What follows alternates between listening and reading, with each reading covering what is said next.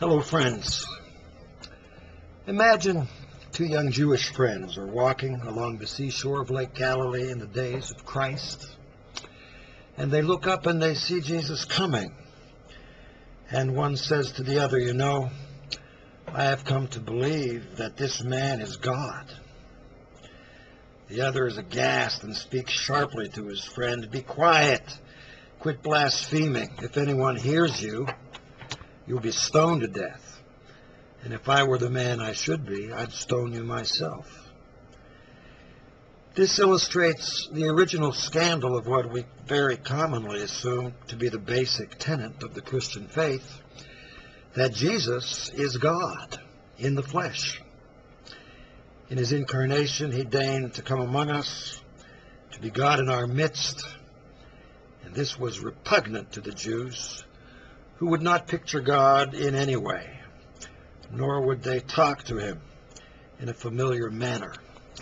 The idea that God was anything other than transcendent was unthinkable. And Jesus was finally put to death because he continually scandalized the Jews, who in the end decided he was too much of a risk.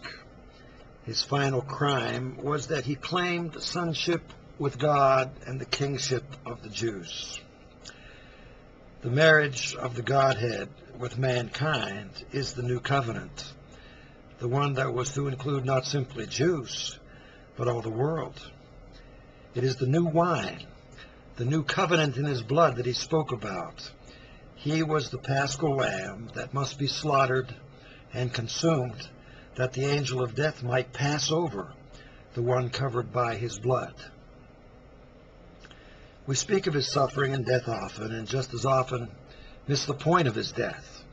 Brutalization, death, even resurrection is not the end. Communion is the end. The banquet, the communion, the eating of the one loaf that makes us all brothers and sisters in the same Lord. The Passover lamb had to be killed, but it also had to be eaten. How was this to be accomplished? More scandal. In the sixth chapter of John's Gospel, Jesus makes direct reference to the necessity of eating his flesh and drinking his blood. Four times in seven verses, those who heard him were shocked.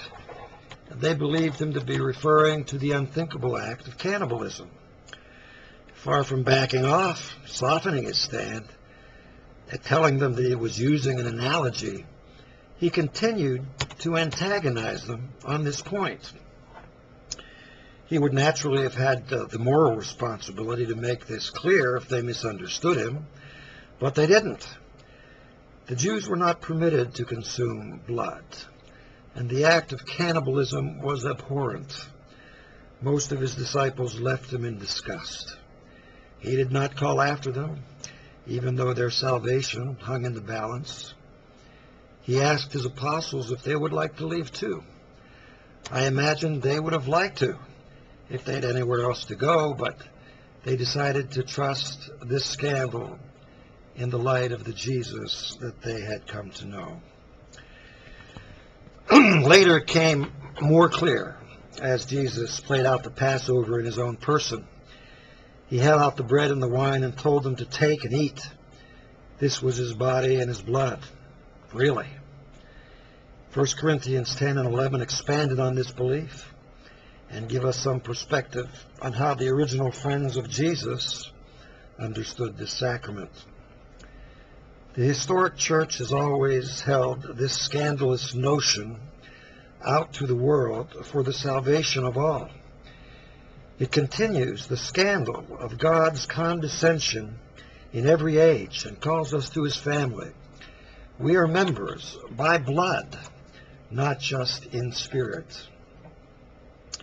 It is confounding to me that many Christians will enthusiastically embrace the incarnation and recoil at the real presence of Jesus in the Eucharistic species. Why swallow the camel of the incarnation and strain at the gnat of transubstantiation? Which mystery is more unlikely? There have been some efforts in Christendom to soften this scandal, to make it more palatable to the enlightened world. Protestant reformers proposed the idea of consubstantiation. This means that the bread and the wine change in essence only. They are at one and the same time bread and wine and the body and blood of Christ. However, the substance, bread and wine, remains the same.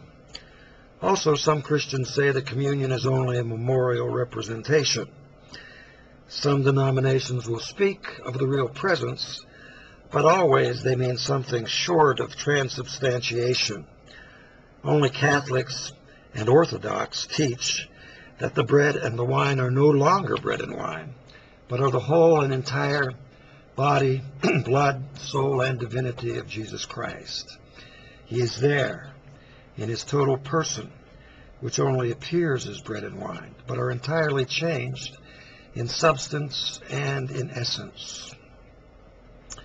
Hear me well, to insist on this uncomfortable reality is dangerous. The critics of Catholicism are right to see this critical distinction in our church. If we are right on this, then we're truly right. If, on the other hand, we command the worship of what is only bread, then we are Satan's instruments.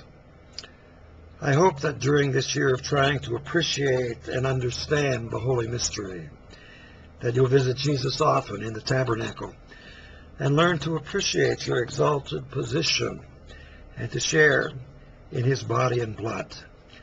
Many blessings to all of you today.